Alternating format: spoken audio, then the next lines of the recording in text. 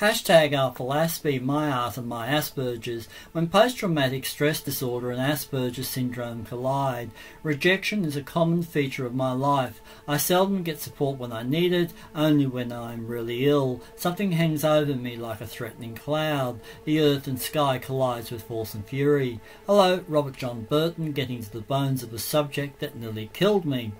I have survived several testing and horrible times, times that some people never survive. I had a strange, twisted advantage. What am I laughing at? I had survived being stabbed, resulting in a full thoracotomy surgery at 24. Never mind, I had by this age survived beatings, bashings, and sexual molestation. The best the worst was yet to come. My father dead, my mother diagnosed with schizophrenia with paranoid delusions. I was beginning to fight melanoma too. Something was calling for me. Having Asperger's syndrome was my advantage, both messing up my life but saving me from immediate actions of rage or regret. Feelings and intellect don't meld quickly in this Vulcan mind. I feel like being accused of being a Cold War spy. Is there any point in hysterics? Anything I say will be misunderstood or ignored. Let's be clear about one thing. There is no fairness or justice in this world. It isn't designed like that. But help is available if you know what to ask for. My reactions as a person with Asperger's may offend many, but frankly, your opinion in the face of your prejudices mean nothing to me considering the vicarious injury done to so many when common sense could prevail.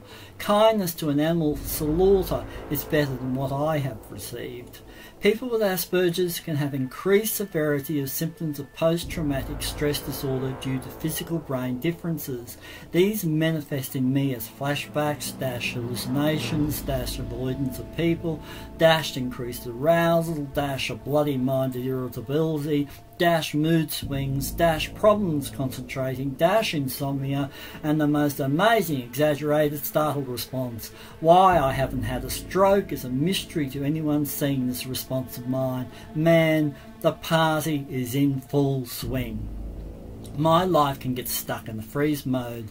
I have never moved forward in the things people consider important family and friend connections. I feel a lot of anxiety. Motivation is an issue. Hypervigilance takes me away from normal activities. I do not understand the need for others to enjoy sport, travel for pleasure, or engage in family type activities. Therefore, I have been described as aloof and unfriendly. I need to be there in a place for a reason. My boundaries of personal space bubble have often been trespassed. I have endured bullying because I do not understand how to respond to others. Unscrupulous people test my sense of trust. I often endure people who are not good for me and have wasted years helping people who did not appreciate it. Giving hope to hopelessness is needed when I am stuck in blaming myself or I am angry about feeling blame. Is forgiveness a part of this? Religious forgiveness is nonsense to me.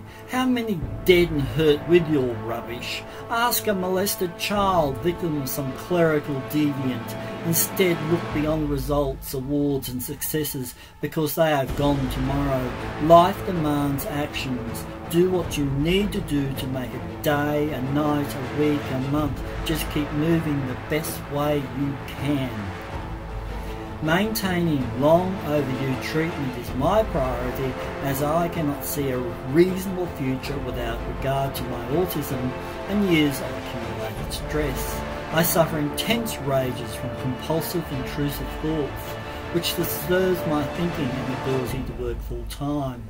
As well, I struggle with change. I do it, but not without a lot of stress.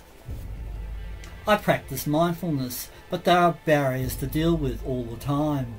Revictimization happens because without healthy self-identity, my sense of worth depended on the perpetrator's perceptions.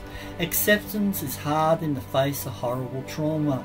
Eventually, I learnt to accept my angry feelings without needing them to be fixed. I had been abused. I do not need to get rid of my feelings as I am not defined by them. My values and goals were confused by too many thoughts. Too much in my head led me away from my basic needs. Others' unwanted intrusions took away my appreciation of life. Eventually, I began to see the shallowness of others. I began to be satisfied with very little. I stopped looking at life in one dimension. A trait of Asperger's is to be a visual thinker. I used that to stretch my tired mind and body. I started to plan some simple goals. A new place to live away from noisy, insensitive neighbours. Peaceful surroundings are very important for us who suffer stress. Make the effort to find quiet. Putting my talents to work, but letting my thoughts come and go without focusing too much on each one. Seek simple solutions, then rest. Stop trying to please others. You will seldom succeed unless they are sensible. It has been my experience shallow, insincere people give up on you unless you have some value for them. Do the best you can with what you have, but remember that the wise thing to do, if one needs help, is to go out and ask for it. The help you need will come. Asperger's and post-traumatic stress disorder complicate each other. However, Along with depression, they make the world seem like a black and white place. Everything has to have a solution, a place for everything. Doesn't make much sense. More is not always better. Step back and rest. Let your thoughts come and go without focusing too much on each one. Eventually, I had to accept responsibility for the feelings that stayed. They were the serious ones. This is the best advice I have to offer. Step back, until what is important cannot be ignored, there is your path. I am a doer of many things. I have many different parts. I let struggle and trauma be what it is, me and the cosmos. Nothing is perfect. It just is. It is daily work if you get my drift. Thank you, like, subscribe and share please.